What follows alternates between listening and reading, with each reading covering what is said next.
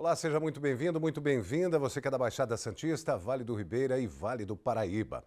O SP Record desta quarta começa com a prisão de uma quadrilha que roubava bancos. A polícia descobriu que todos os integrantes eram muito organizados. Eles até alugaram casa na praia para não levantar suspeitas.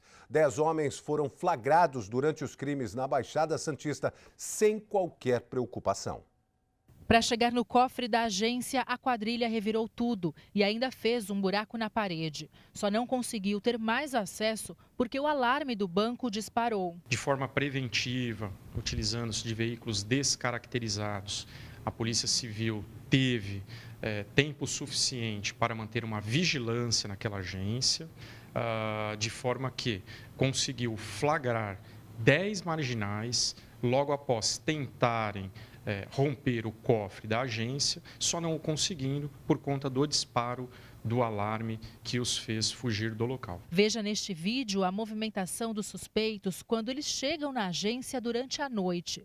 Além deste veículo que aparece nas imagens, outros cinco carros e uma moto foram apreendidas. Dez homens foram presos, a maioria de São Paulo e apenas um de Praia Grande. Leandro Moreno, de 31 anos, tinha um apartamento no bairro Aviação. Já César e Josival eram procurados pela justiça.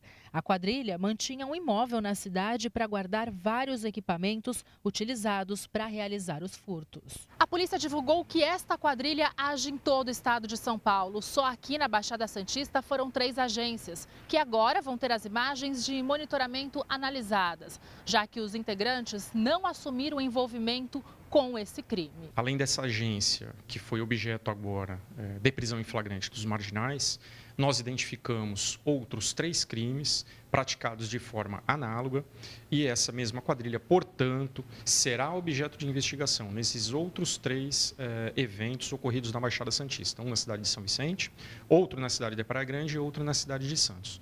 Contudo, o Departamento de Investigações Criminais uh, da Polícia Civil de São Paulo, o DEIC, por meio da 5 Delegacia do Patrimônio, que é a delegacia especializada de roubos a banco, também realiza diligências em concomitância com a DIG, de forma conjunta, visando, assim, a identificação de outras tantas agências bancárias que tenham sido alvo dessa quadrilha no estado de São Paulo.